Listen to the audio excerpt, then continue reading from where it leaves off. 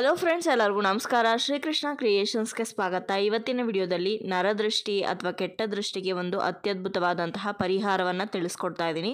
ಈ ಪರಿಹಾರವನ್ನು ಮಾಡಿ ನೀವು ಮನೆಯಲ್ಲಿ ಕಟ್ಬೋದು, ಅಥವಾ ನೀವು ವ್ಯಾಪಾರ ಮಾಡುವಂಥ ಸ್ಥಳಗಳಲ್ಲಿ, ಅಂಗಡಿಗಳಲ್ಲಿ, ಅಥವಾ ನಿಮ್ಮ ವಾಹನಗಳಿಗೂ ಕೂಡ ಕಟ್ಬೋದು. ಈ ರೀತಿ ಮಾಡಿ ಕಟ್ಟೋದ್ರಿಂದ ಯಾರದೇ ಒಂದು ಕೆಟ್ಟ ದೃಷ್ಟಿ ಅಥವಾ ನರದೃಷ್ಟಿ ಅಂತ ಏನು ಕರಿತೀವಲ್ಲ, ಅದು ತಟ್ಟೋದಿಲ್ಲ ಅಂತಲೇ ಹೇಳ್ಬೋದು. ಬಹಳ ಪರಿಣಾಮಕಾರಿಯಾಗಿ ಇದು ಕೆಲಸ ಮಾಡುತ್ತೆ. ಸುಮಾರು ಜನಕ್ಕೆ ಗೊತ್ತಿರುತ್ತೆ, ಸುಮಾರು ಜನಕ್ಕೆ ಗೊತ್ತಿರೋಲ್ಲ. ಕೆಲವರಿಗೆ ಗೊತ್ತಿದ್ರೂ ಕೂಡ ಕೆಲವೊಂದು ತಪ್ಪುಗಳನ್ನು ಮಾಡ್ತಾರೆ. ಅದು ಯಾವ್ಯಾವ ತಪ್ಪುಗಳನ್ನು ಮಾಡಬಾರ್ದು, ಹೇಗೆ ಇದನ್ನು ಕಟ್ಟಬೇಕು ಅನ್ನೋ ಕೂಡ ಇವತ್ತಿನ ವಿಡಿಯೋದಲ್ಲಿ ನೋಡ್ಕೊಳ್ಳೋಣ. ಹಾಗಾದರೆ ಬನ್ನಿ ವಿಡಿಯೋ ಶುರು ಮಾಡೋಣ. ಈ ಒಂದು ಪರಿಹಾರ ಮಾಡ್ಕೊಳ್ಳೋದಕ್ಕೆ ಒಂದು ಏಳು ಅಥವಾ ಒಂಬತ್ತು ಮೆಣಸಿನಕಾಯಿ ಬೇಕಾಗತ್ತೆ. ಹಾಗೆ ಕಪ್ಪು ದಾರ ಸೂಜಿ ಜೊತೆಗೆ ಒಂದು ನಿಂಬೆಹಣ್ಣು ಮತ್ತು ಇದ್ಲು ಬೇಕಾಗತ್ತೆ, ತೋರಿಸ್ತಾ ಇದ್ನಲ್ವಾ? ಈ ರೀತಿ ಸಣ್ಣದೊಂದು ಇದ್ಲು ತುಂಡು ಸಿಕ್ಕಿದ್ರೆ ಸಾಕು. ಇಷ್ಟು ಇದ್ರೆ ಒಂದು ನಿಮಿಷದಲ್ಲಿ ಈ ಪರಿಹಾರವನ್ನು ಮಾಡ್ಕೊಳ್ಬೋದು. ಹಾಗಾದ್ರೆ ಬನ್ನಿ ಯಾವ ರೀತಿ ಮಾಡೋದಂತ ನೋಡ್ಕೊಳ್ಳೋಣ. ಈ ಒಂದು ಪರಿಹಾರ ಮಾಡೋದಕ್ಕೆ ಮೊದಲೇ ಹೇಳಿದಾಗೆ ಕಪ್ಪು ದಾರ ಬೇಕು. ಕಪ್ಪು ದಾರವನ್ನು ನಾನು ತಗೊಂಡು ಇವಾಗ ಇದ್ಲಿಗೆ ಕಟ್ತಾ ಇದ್ದೀನಿ. ಮೊದಲು ಇದ್ಲನ್ನು ಕಟ್ಕೊಳ್ಬೇಕು. ಇದ್ಲನ್ನು ಕಟ್ಕೊಂಡಿದ ನಂತರ ನೆಕ್ಸ್ಟು ನಿಂಬೆಹಣ್ಣನ್ನು ಕಟ್ಟಿ ಮೆಣಸಿನಕಾಯಿಗಳನ್ನು ಕೂಡ ಪೋಣಿಸ್ಕೋಬೇಕಾಗತ್ತೆ. ಇವಾಗ ಇದ್ಲನ್ನು ಪೋಣಿಸಿದ್ದೀನಿ ಆನಂತರ ಇವಾಗ ನಾನು ನಿಂಬೆಹಣ್ಣನ್ನು ಪೋಣಿಸ್ತಾ ಇದ್ದೀನಿ. ನಿಂಬೆಹಣ್ಣನ್ನು ನೋಡಿ ಈ ರೀತಿ ಅಡ್ಡಡ್ಡ ಪೋಣಿಸ್ಬಾರ್ದು. ಈ ತೊಟ್ಟಿನ ಭಾಗ ಬರುತ್ತಲ್ಲ, ಆ ಕಡೆಯಿಂದ ಪೋಣಿಸ್ಬೇಕಾಗತ್ತೆ. ಇವಾಗ ನಿಂಬೆಹಣ್ಣನ್ನು ಕೂಡ ಪೋಣಿಸಿದ್ದೀನಿ ಆನಂತರ ಇವಾಗ ಏಳು ಮೆಣಸಿನಕಾಯನ್ನು ಪೋಣಿಸ್ತಾ ಇದ್ದೀನಿ. ಹಸಿ ಮೆಣಸಿನಕಾಯಿ ಒಣಮೆಣಸಿನ್ಕಾಯಿ ಕೂಡ ನೀವು ಬಳಸ್ಬೋದು ಆದರೆ ಹಸಿಮೆಣಸಿನ್ಕಾಯಿ ಬಳಸಿದ್ರೇ ತುಂಬಾ ಒಳ್ಳೆಯದು ಇದನ್ನು ಮನೆ ಬಾಗಿಲಿಗೆ ಅಥವಾ ಅಂಗಡಿ ಮುಂಭಾಗಕ್ಕೆ ಕಟ್ಟುವಂಥ ಉದ್ದೇಶ ಏನಂದರೆ ಲಕ್ಷ್ಮಿ ಜೊತೆ ಅಲಕ್ಷ್ಮಿಯು ಕೂಡ ಸಂಚಾರ ಮಾಡ್ತಾ ಇರ್ತಾಳೆ. ಅಲಕ್ಷ್ಮಿಗೆ ಖಾರ ಹಾಗೆ ಹುಳಿಯ ಆ, ಅಂಶ ಇರುವಂಥದ್ದು ಅಂದರೆ ಜಾಸ್ತಿ ಇಷ್ಟ ಯಾರ ಮನೆಯಲ್ಲಿ ಅದಿರಲ್ವೋ ಒಳಗಡೆ ಪ್ರವೇಶ ಮಾಡ್ತಾಳಂತೆ. ಹಾಗಾಗಿ ಇದನ್ನು ಮನೆ ಮುಂಭಾಗಕ್ಕೆ ಕಟ್ಟೋದ್ರಿಂದ ಈ ಹುಳಿ ಹಾಗೆ ಆ ಖಾರದ ಅಂಶವನ್ನು ಅಲ್ಲೇ ನೋಡಿಬಿಟ್ಟು ವಾಪಸ್ ಹೋಗ್ತಾಳೆ ಅಂತ ಹೇಳ್ತಾರೆ.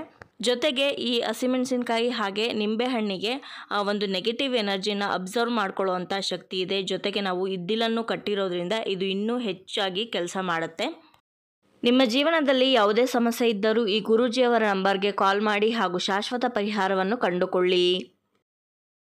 ನಾನಿವಾಗ ಇದನ್ನೆಲ್ಲ ಪೋಣಿಸಿ ಅರ್ಶಿನ ಕುಂಕುಮವನ್ನು ನಿಂಬೆಹಣ್ಣಿಗೆ ಇಟ್ಟಿದ್ದೀನಿ ಅನಂತರ ಅಗರಬತ್ತಿ ಹಚ್ಕೊಂಡು ಧೂಪವನ್ನು ಮಾಡ್ತಾಯಿದ್ದೀನಿ ಧೂಪ ಮಾಡೋದ್ರ ಉದ್ದೇಶ ಏನಂದರೆ ನಿಂಬೆಹಣ್ಣು ಹಾಗೆ ಹಸಿಮೆಣಸಿನಕಾಯಿ ಮತ್ತು ಇದ್ಲನ್ನು ಆ್ಯಕ್ಟಿವೇಟ್ ಮಾಡೋದಕ್ಕೆ ಈ ರೀತಿ ಧೂಪವನ್ನು ಮಾಡಬೇಕು. ಪ್ರತಿದಿನ ನೀವು ಮನೆಯಲ್ಲಿ ಪೂಜೆ ಮಾಡಿದಾಗ ಇದಕ್ಕೂ ಕೂಡ ಧೂಪವನ್ನು ತೋರಿಸ್ಬೇಕಾಗತ್ತೆ. ಈ ಒಂದು ಪರಿಹಾರವನ್ನು ನೀವು ಪ್ರತಿ ಶನಿವಾರ ಅಥವಾ ಪ್ರತಿ ಅಮಾವಾಸ್ಯೆ ದಿನ ಮಾಡಬೇಕಾಗತ್ತೆ. ಮಾಡೋದಕ್ಕಿಂತ ಮುಂಚೆ ನಿಂಬೆಹಣ್ಣನ್ನು ಅಂಗಡಿ ಅಥವಾ ಮನೆಗೆ ಮೂರು ಸಲ ನೀವಾಳಿಸ್ಬಿಟ್ಟು ಆನಂತರ ಇದನ್ನು ಪೋಣಿಸ್ಬೇಕು. ಆದಷ್ಟು ಇದನ್ನು ಮನೆ ಯಜಮಾನ್ರ ಕೈಯಲ್ಲಿ ಕಟ್ಟಿಸಿ ಅಥವಾ ಅವ್ರು ಕಟ್ಟೋದಕ್ಕೆ ಸಾಧ್ಯ ಇಲ್ಲ ಅಂದರೆ ನೀವೇ ಕಟ್ಬೋದು. ಮನೆಯಲ್ಲಿ ನೀವು ಕಟ್ತಾ ಇದ್ರೆ ಮನೆಯ ಮುಂಬಾಗಿಲಿಗೆ ಕಟ್ಟಬೇಕಾಗತ್ತೆ ಅಥವಾ ಅಂಗಡಿಯಲ್ಲಿ ಕಟ್ತಾ ಇದ್ರೆ ಬಂದಿದ ತಕ್ಷಣ ಯಾರಾದರೂ ನೋಡೋ ರೀತಿ ಎದುರುಗಡೆನೇ ಕಟ್ಟಬೇಕು ಒಳಗಡೆ ಕಟ್ಟೋದಲ್ಲ. ಯಾರಾದರೂ ಒಬ್ಬರು ಮನೆಗೆ ಅಥವಾ ವ್ಯಾಪಾರ ಸ್ಥಳಕ್ಕೆ ಬಂದಾಗ ಅವರ ದೃಷ್ಟಿ ಬೇರೆ ವಸ್ತುಗಳ ಮೇಲೆ ಬೀಳೋದಕ್ಕೆ ಇದು ಬಿಡೋದಿಲ್ಲ. ತನ್ನತ್ತ ಅವರ ಕೆಟ್ಟ ದೃಷ್ಟಿಯನ್ನು ಆಕರ್ಷಣೆ ಮಾಡುತ್ತೆ. ನಿಮ್ಮಲ್ಲಿ ಕೆಲವೊಬ್ಬರಿಗೆ ಗೊತ್ತಿರ್ಬೋದು, ಚೆನ್ನಾಗೇ ಎಲ್ಲನೂ ನಡೀತಾ ಇರುತ್ತೆ, ವ್ಯಾಪಾರ ಆಗ್ಬೋದು, ಮನೆಯಲ್ಲಿ ಸುಖಕರವಾಗಿ ಜೀವನ ನಡೀತಾ ಇರುತ್ತೆ. ಯಾರಾದರೂ ಒಬ್ಬರು ಬಂದು ಅವ್ರ ಕೆಟ್ಟ ದೃಷ್ಟಿ ಬಿದ್ದರೆ ಮನೆ ಮೇಲೆ ಆಗಲಿ ಅಥವಾ ವ್ಯಾಪಾರ ಸ್ಥಳದ ಮೇಲೆ ಆಗಲಿ, ವ್ಯಾಪಾರದಲ್ಲಿ ಕುಂಠಿತ ಆಗೋದು, ನಷ್ಟ ಆಗೋದು ಅಥವಾ ಮನೆಯಲ್ಲಿ ಪದೇ ಪದೇ ಜಗಳ ಆಡುವಂಥದ್ದು, ಆರೋಗ್ಯ ಸಮಸ್ಯೆಗಳು ಕಾಡುವಂಥದ್ದು ಈ ರೀತಿ ಒಂದೊಂದೇ ಸಮಸ್ಯೆಗಳು ಉದ್ಭವ ಆಗುತ್ತೆ. ಹಾಗಾಗಿ ಪ್ರತಿ ತಿಂಗಳಿಗೊಮ್ಮೆ ಅಥವಾ ವಾರಕ್ಕೊಮ್ಮೆ ಈ ರೀತಿ ಮಾಡಿ ನೋಡಿ ತುಂಬಾ ಚೆನ್ನಾಗಿ ಇದು ವರ್ಕ್ ಆಗುತ್ತೆ. ಹಾಗೆ ಇದನ್ನು ಕರೆಕ್ಟಾಗಿ ಡಿಸ್ಪೋಸ್ ಮಾಡಬೇಕು. ಕೆಲವೊಬ್ಬರು ಈಚೆ ಕಟ್ಬಿಟ್ಟು ಅದನ್ನ ಒಳಗಡೆ ತೊಗೊಂಬಂದು ಡಸ್ಟ್ಬಿನ್ಗೆ ಹಾಕ್ತಾರೆ. ಆ ರೀತಿ ಮಾಡಬೇಡಿ. ಈಚೆ ನೆಗೆಟಿವ್ ಎನರ್ಜಿನ ಅಬ್ಸರ್ವ್ ಮಾಡ್ಕೊಂಡಿರುತ್ತೆ. ಮನೆ ಒಳಗಡೆ ಅದನ್ನು ಯಾವುದೇ ಕಾರಣಕ್ಕೂ ತರಬಾರ್ದು. ಎಲ್ಲಾದರೂ ಯಾರೂ ತುಳಿದೇ ಇರೋವಂಥ ಕಡೆ ಇದನ್ನು ಹಾಕಬೇಕಾಗತ್ತೆ. ನೋಡಿದ್ರಲ್ವ ಸ್ನೇಹಿತರೆ, ಇವತ್ತಿನ ಈ ವಿಡಿಯೋ ನಿಮ್ಮೆಲ್ಲರಿಗೂ ಇಷ್ಟ ಆಗಿದೆ ಅಂತ ಭಾವಿಸ್ತೀನಿ. ಇಷ್ಟ ಆಗಿದ್ರೆ ಖಂಡಿತವಾಗ್ಲೂ ಲೈಕ್ ಮಾಡಿ ಶೇರ್ ಮಾಡಿ ಕಮೆಂಟ್ ಮಾಡಿ. ನನ್ನ ಚಾನಲ್ನ ಹೊಸದಾಗಿ ನೋಡ್ತಾ ಇರೋರು ಸಬ್ಸ್ಕ್ರೈಬ್ ಮಾಡ್ಕೊಳ್ಳಿ. ಸಿಗೋಣ ಮತ್ತೊಂದು interesting ವಿಡಿಯೋದೊಂದಿಗೆ take care bye thank you for watching